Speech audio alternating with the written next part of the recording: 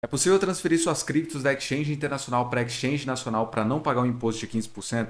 É isso que você vai descobrir nesse vídeo. Meu nome é Gabriel Broeto e aqui no Cripto na Rotina você aprende sobre cripto sem mimimi. Agora, conforme você já deve saber, nós temos a Lei 14.754 que já está em vigor em 2024 e que prevê a alíquota de 15% sobre a parcela anual dos rendimentos de rendimentos de quê? Capital aplicado no exterior e separei aqui a parte mais importante para a gente, que é o quê? Variação cambial da moeda estrangeira ou variação da criptomoeda em relação à moeda nacional. Então, se a sua cripto que está no exterior valorizou em relação ao real, você vai ter que recolher o quê?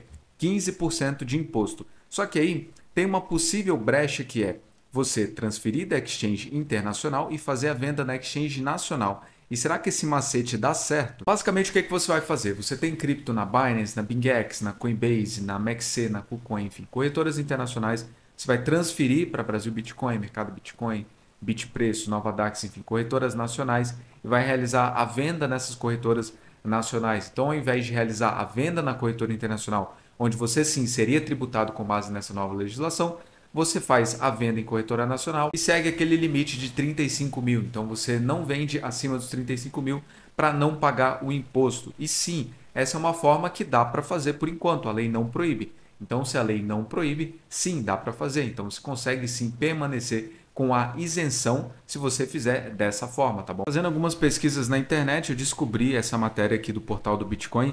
35 perguntas e respostas sobre a lei 14.754 e quem está respondendo aqui é a Ana Paula Rabelo, que ela é sim contadora, diferente de mim. Então, lógico, eu tenho que pesquisar as informações com quem trabalha nesse assunto, né? com quem realmente é especialista. Tá? E aí, uma das perguntas, eu vou deixar isso aqui no comentário fixado para vocês poderem visualizarem, tem várias dúvidas respondidas aqui. E uma delas é exatamente isso: terei a isenção na venda ao transferir os criptoativos de uma corretora estrangeira para nacional e vender?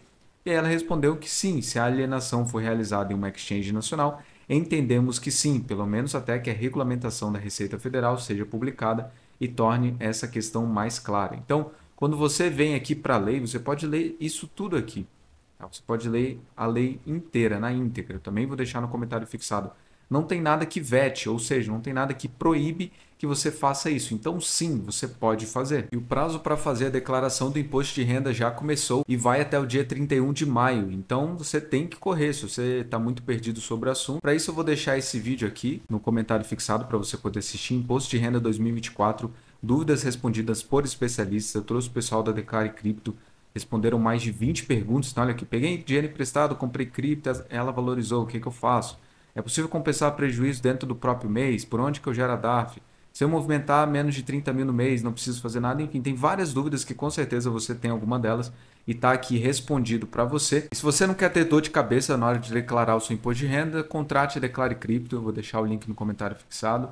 Você vai clicar, vai clicar aqui em Quero Me Cadastrar, vai testar a plataforma deles por 45 dias Aí você conecta as suas corretoras, conecta as suas carteiras e eles vão mostrar para você você tem algum imposto para pagar, como é que está a sua situação. E aí você toma a sua decisão se você vai ou não declarar, porque eles não estão conectados no sistema da Receita Federal. Então eles só vão te dar informação e você vai decidir se você declara ou não. Basicamente é isso, tá?